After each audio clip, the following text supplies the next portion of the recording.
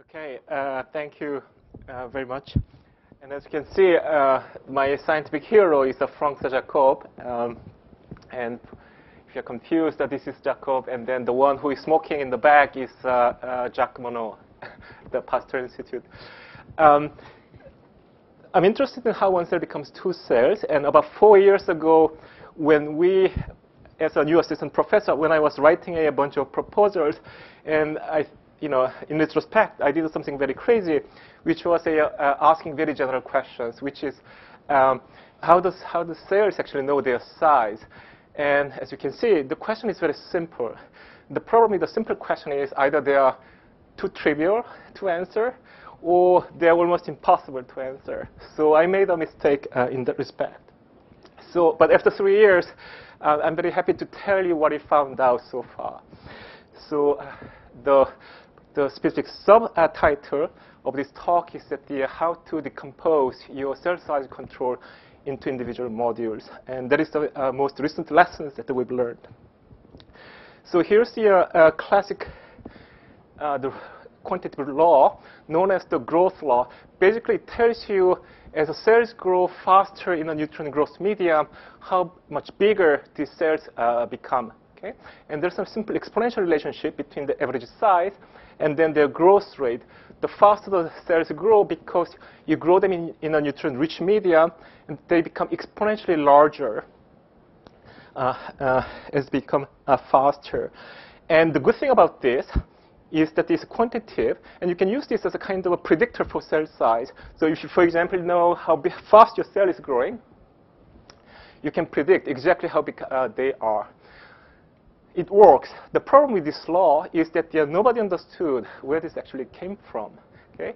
And this is a fairly general, uh, almost universal law uh, for single-cell organisms in bacteria, at least enteric bacteria. But uh, the origin was very uh, not known. A few years ago, when we were doing a lot of experiments, growth experiments at the single-cell level, using the mother machine that we developed in our lab, we noticed that the individual cells actually do something as if to sense how big they are and correct uh, how big they are. Okay? Eventually, this, this, became known as the adder principle. Okay? What this says is that the, uh, first, let's focus on the, uh, this time-lapse experiment. The cell is born at some size, and it grows, and at some point, it divides in the middle, uh, and one cell becomes two cells. What this adder principle tells us is that the, uh, no matter what the newborn size is, this cell only cares about the, how much larger, in a relative sense, they grow. So, so they grow, they add nearly constant size delta, and then divide in the middle. It doesn't care about the, how big it was at the birth, at, and the, how big it is uh, at division. And then this is, if you take this seriously, then the size homeostasis uh, can be explained in a very quantitative and predictive way. We show that uh, this works for E. coli and also for B. subtilis, uh, both bacteria, but they are billion years divergent. And after we published this paper, and another, and also there's another paper that came out simultaneously with our paper, the field essentially exploded. So the number of, uh, the list of uh, uh, adders really has been really increasing exponentially from bacteria to uh, even mammalian cells, uh, which I learned uh, a few weeks ago in a, a cell size conference in Germany. So we're very happy with this. Okay? But the real question is, what determines the cell size? Okay? So that is a real question. And the adder principle is like a, essentially single level correlation. It simply tells you for given size and given growth conditions how individual, how much individual cells uh, will add uh, uh, in terms of size until division. The biggest lessons uh, we learned from the adder principle is as follows. It's something evolutionary. That E. coli and B. subtilis a billion years divergent. The distance is, is further than between uh, you and the elephant. Okay? And there are textbook examples of how gram-negative and gram-positive organisms differ in their cell cycle, cell cycle control at the molecular level. So the lesson for us was that yeah, we got to stay away from the molecules. Okay? Forget about the molecules and rather just think about what every daughter cell inherits, regardless of the, uh, uh, their species. And the good news was that the, uh, there are only three things. There are the chromosomes, the proteins, and cell envelope. Okay? So uh, we decide to drop everything, and there was uh, uh, George. We decide to focus on one thing. So we drop everything and focus on these three things and how they talk to each other. Okay. The problem with this approach was that yeah, so what we, what, we, what we really set out to do was to perturb a synthesis of each of these, what we call the trinity, and how the perturbation uh, is communicated with the synthesis of the other two of the trinity. The problem with this was that the, although it was a very simple strategy, the parameter space we had to search was so large that we just couldn't possibly do the single cell level experiments. And we simply estimated how long it would take, and it was going to be something like 20 years with the five postdocs. So there was no way I could finish this.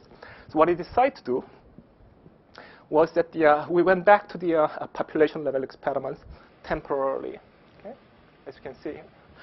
So uh, once we defined that the parameter space we wanted to search, all these uh, physiological perturbations, two people in my lab teamed up, and then they come up with uh, what Jim Collins showed in the morning, this kind of evol uh, ev uh, evolver machines.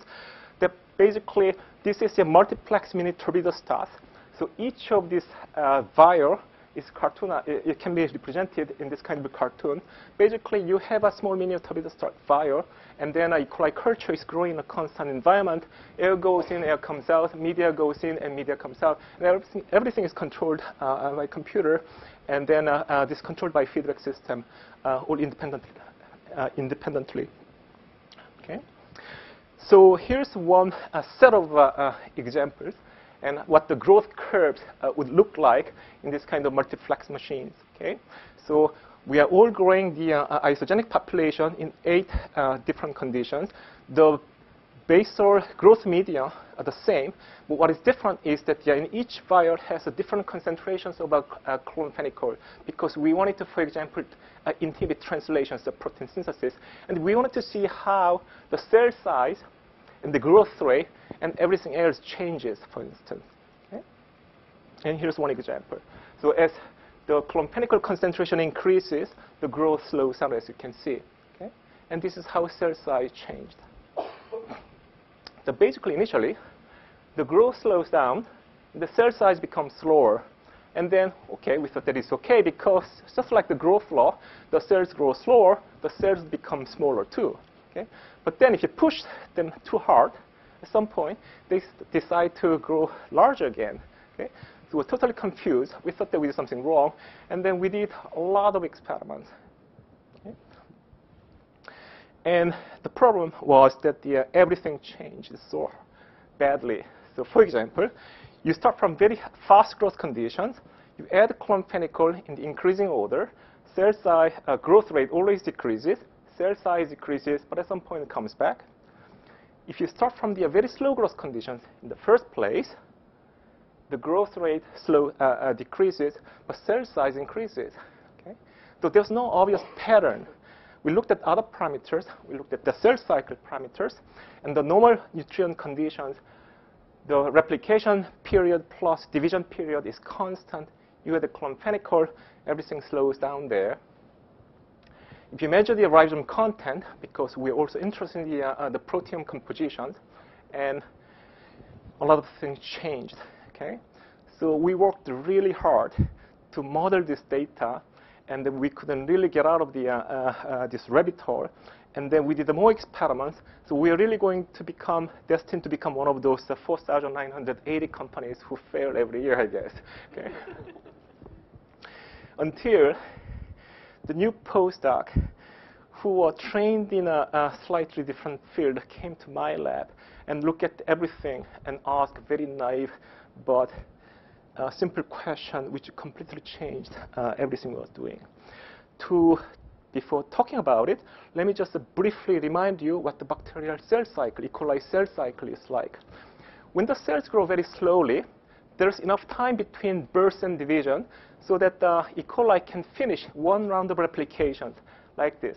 So it's a cir single circular genome. Replication bubble is created. It grows bidirectionally. But as you give them better food and the cells grow faster and faster, you cannot accelerate uh, replication speed. Maybe there's a physical limit. but the cells somehow grow and divide much more frequently. So what E. coli does is that it does parallel processing. So before the previous round of replication finishes, the new round of replication is uh, starts. Okay, so that's why you have a bubble within bubble, and you can create, you know, four or five uh, bubbles and so on. Okay? So the simple question Fang Wei asked was that, yeah, well, in these complex situations or simple situations, how much cell volume or cellular resources are dedicated to start one round of replication? It's a classic question about so-called initiation mass for DNA replications. Okay? So he was asking that question. The reason we hadn't asked those questions was that the, uh, as we add antibiotics, you are essentially inhibiting biosynthesis of everything, starting from ribosomes or regular proteins or DNAs and so on. So that question didn't even occur to us, that it wouldn't be meaningful. And then when we did that, when we looked at the data, something very remarkable happened, like this. That under growth inhibition, cell size and growth rate changed in a way that we just couldn't uh, possibly make sense out of. But if you calculate how much cellular resources are devoted to one round of replication, and this cell size collapses onto this single master line, no matter what you do. Everything corresponds to this one. Now, look at this one. This particular horizontal line, if you extend it, meets at the y-intercept of this classic growth law. So what came out really was here what the Donachie in the 1960s for wrong region called the unit cell, which is the fundamental cellular unit. Okay? It's a building block of a cell size and cellular resources to maintain your physiology, growth, in the cell cycle. So as a reminder, this unit cell is equivalent to the initiation mass per replication origin, regardless of the replication conditions. And it is the uh, lambda equals zero limit. So as the cell growth critically slows down, the cells become smaller and smaller, and finally reaches some fundamental building block size. It's a minimal cellular resources to, for the cells to be able to start uh, growth and the cell cycle. Okay. So we went back to the basics, and then ah, before doing that, we got so worried again that uh, maybe this was a very remarkable result. This invariance was uh, something we couldn't imagine, but maybe this was very specific for chloramphenicol only. So we did a bunch of experiments and perturbed all this, and I can assure you this unit cell was invariant under all these perturbations, from translation to uh, cell size and cell division. Excuse me. So if you step back and if actually if you think about the whole processes, in fact, we realize mathematically there is a very simple relationship, be relationship between cell size and then all other physiological uh, uh, control parameters. So basic, the message here is that the cell size is the sum of all unit cells, and then the number of unit cells is given by this exponential function where tau cycle is the uh, duration of a cell cycle, and tau is the doubling time of the cells. So this is power of 2 means that whenever there's a new round of replications, the number of ORIs is doubles. Okay? And S0 itself is the size of unit cells. Okay? So cell size is a sum of all these unit cells. And what is different from the classic, uh, the growth law, is that the, uh, there's not only one parameter, there are only three control parameters that control the cell size. In other words, for given cell size, there are infinite number of possibilities of physiological states which can give you essentially the same cell size, the multifold replications to non-multifold replications or non-growing cells even. Okay? So what it found out was essentially there's kind of modular structure of cell size control determined by the three control parameters, and we decide to go after changing each parameter one at a time. Okay? So what you're doing, essentially, uh, with the, all these antibiotics was something like this. If there are three parameters underlying cell size control, and then by changing the nutrient condition, what you are doing is changing the growth rate only. But if you change, if you add antibiotics, not only the growth rate, but also the cell cycle duration uh, changes. So what we wanted to do to really push this hard, we wanted to control this and that uh, individually. So we already heard about the CRISPR uh, interference system. So Xintian Li is a scientist in my lab who single-handedly developed the, uh, the uh, CRISPR interference system, essentially optimizing what the Jonathan Weissman and Carol Gross uh, uh, did a couple of years ago. Our system is very clean, so the, it's very, very, uh, almost a zero uh, leak expressions. You start from the wild type level of expression, and then you can essentially titrate the level of expression um, in a linear fashion.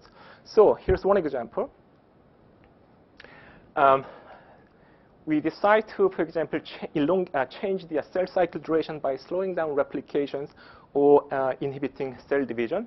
As you can see, without changing the growth rate, then cell cycle we can increase, and then the cell size changes accordingly following this general growth law.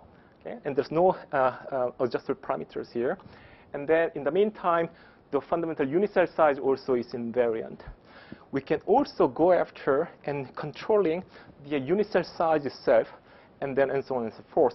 So here's a summary statement of uh, uh, our um, decoupling experiments. So for all these three trinity, we can control each parameter one at a time, and then um, their cell size changes based on um, our general growth law, which is summarized here. So the bottom line is as follows.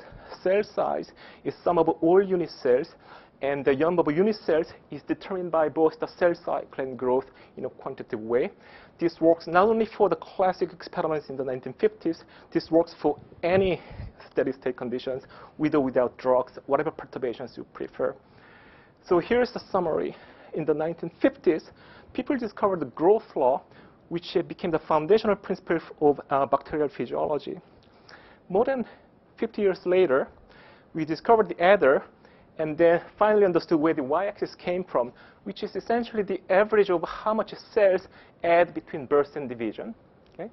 And uh, finally, we actually understand where everything comes from. Okay?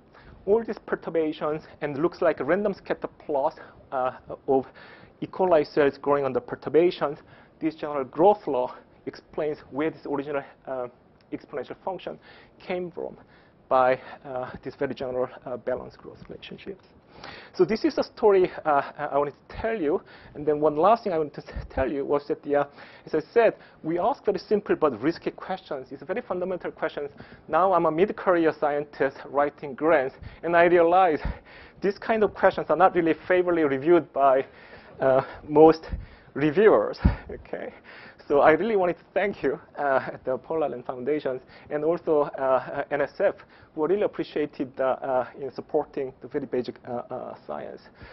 Um, so these are the people, although I took, I did, you know, I'm the one who has the microphone, but these are the ones who did all the work, and they really should get the credit, uh, not just me. Okay, so thank you very much.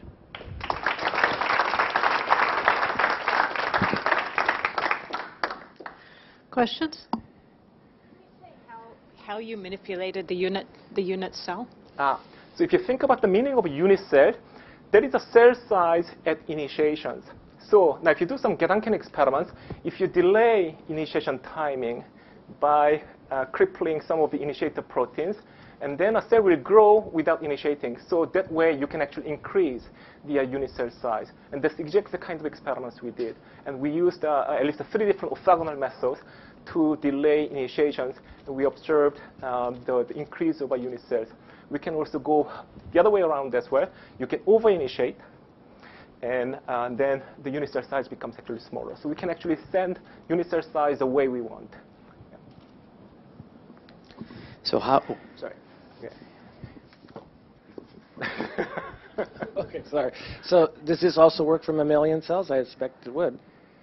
Uh, I doubt. And the reason is that the, um, the, the, the, I didn't have time to talk about the mechanistic, uh, give you mechanistic explanations. This works for so-called balanced growth, meaning that uh, in, in physiology, balanced growth means that the, uh, every component in your cell doubles at the same rate as the growth rate. So in mammalian cells, presumably there are a lot of degradations and active control and so on. I think this, that's where the balanced growth condition breaks. So my my first reaction would be it probably wouldn't work for mammalian cells. So, so I had a similar question about the generality of it. So can you push it to yeast? Did it work in bacilli or other bacteria, streptomyces, soil bacteria, fungi, um, uh, an archaea? Yeah, yeah. That's excellent questions. Um, so, adder principle appears to be very valid for most bacteria and their archaea and some mammalian cells and some yeast cells. Okay? This particular general growth law we presented is based on the balanced growth. So if your organism satisfies the condition of a balanced growth, when you double, everything else doubles uh, inside the cells. is that true of yeast or not?